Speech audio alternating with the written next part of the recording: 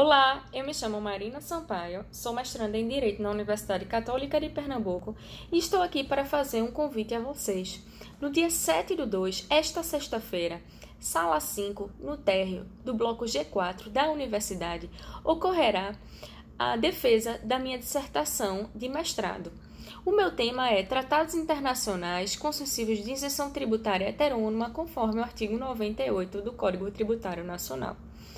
O tema retrata o estudo sobre a viabilidade de ser concedida isenção heterônoma por meio da União aos tratados internacionais, sem intervir na competência dos entes federados. O objetivo do tema remete às divergências da doutrina e das decisões dos tribunais sobre a constitucionalidade do artigo 98 do Código Tributário Nacional, que aparece em desencontro com o preceituado artigo 151, inciso 3 da Constituição Federal, o qual proíbe, de forma expressa, a instituição de isenções tributárias, quando de competência de outros entes federados. Para solucionar as discordâncias sobre o tema, faz-se necessário o exame temporal da Constituição Federal de 1969 e da Lei 5.171 de 1966 e da é, Constituição Federal, como também a distinção entre autonomia e soberania. Quem deve se sobrepor? Quem deve prevalecer? Quem na verdade prevalece?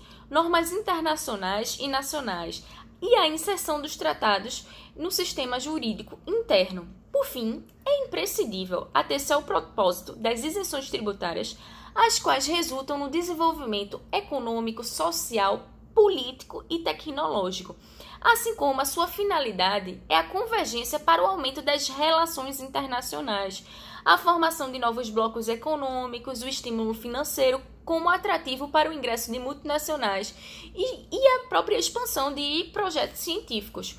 Contudo, a atual problemática é, do meu tema é o seguinte questionamento: até quanto os estados querem abrir mão do seu poder? Ou melhor, até quanto eles, os estados, querem abrir mão da sua arrecadação?